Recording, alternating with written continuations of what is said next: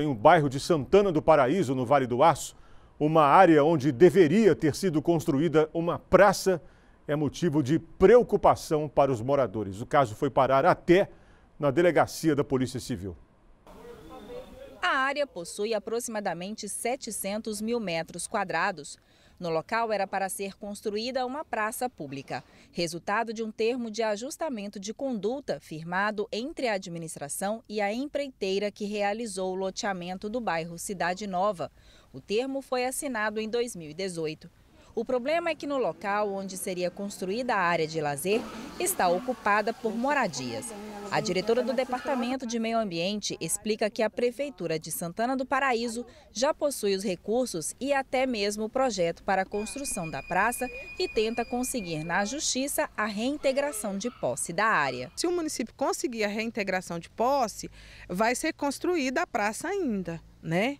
Só que se não conseguir no momento, e o TAC me parece que tem um prazo.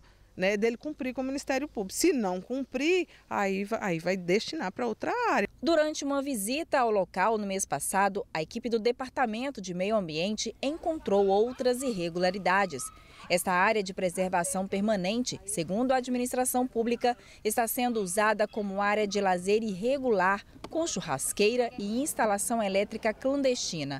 Nesta outra área, há uma gangorra e até um fogão a lenha. No leito do córrego foi feita uma barragem com sacos de areia. O presidente da Associação de Bairros considera que no passado houve falta de fiscalização por parte do poder público. Essa nascente, a gente percebe que ela está quase no centro da rua.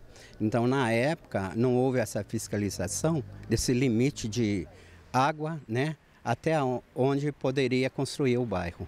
Então, na época, existiu essa, essa coisa que a gente não tinha movimento nenhum, nós não tinha associação para olhar sobre esse, eh, esse feito, né? A situação virou caso de polícia. A delegacia de Santana do Paraíso instaurou o inquérito para apurar as denúncias de crimes ambientais. Em nota, o 12º Departamento de Polícia Civil informou que já acolheu depoimentos e aguarda o resultado dos laudos periciais para a conclusão do inquérito.